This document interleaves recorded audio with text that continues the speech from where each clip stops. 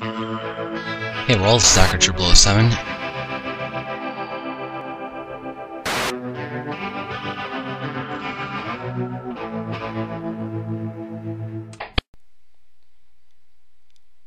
Hey world, it's Dr. Triple 07, and today I'm bringing you guys a cool little program that will add extra features to your toolbar box or top area boxes to every single window in your computer.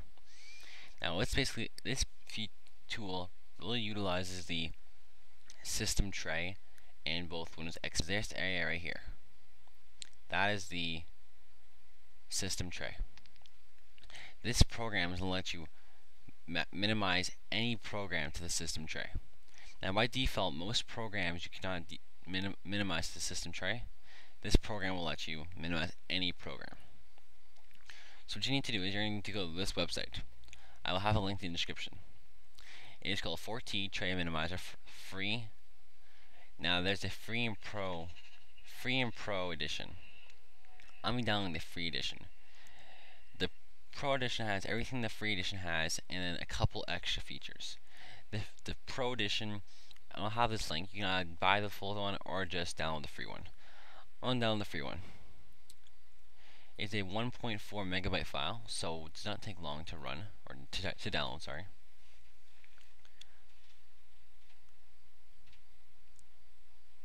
And there we go, Sorry, done.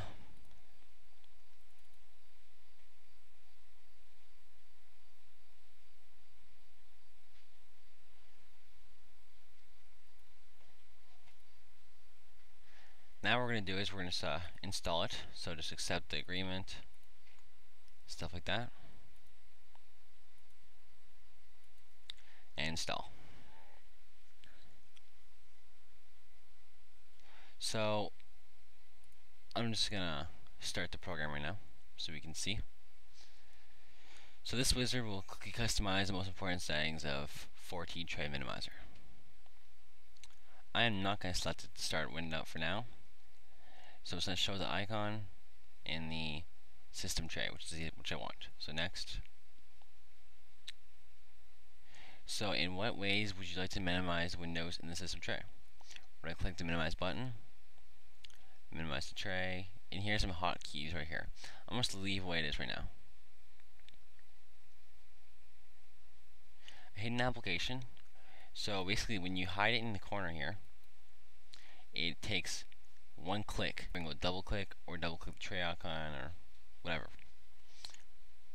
Or you can select another hotkey. So now here is what you can choose to add the buttons. So here, this is what it's going to look like. I'm going to leave it just so you can see the default view.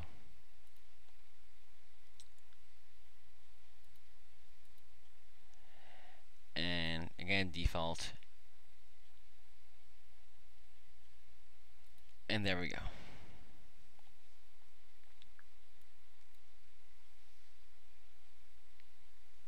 So here's a little tip. Okay, so so I'm gonna try this program out. This is my first time ever using it, so and as you see right in the corner here, we're gonna have these four extra buttons.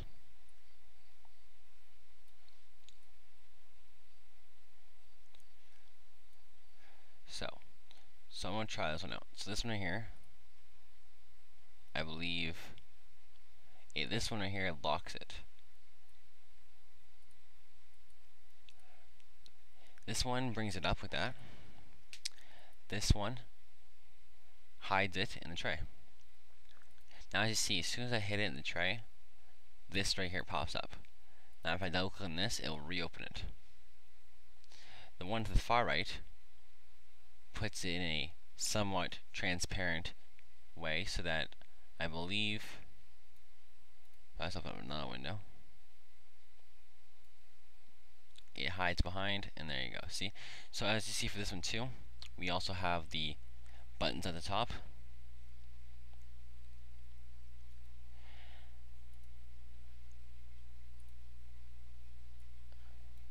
And there you go. So there there's little buttons at the top there. Now to uh, finally disable this program just want to exit out and I want to go to exit. And it's going to say, do you want to unload 4T Tray Minimizer? Click yes. Then your buttons are gone.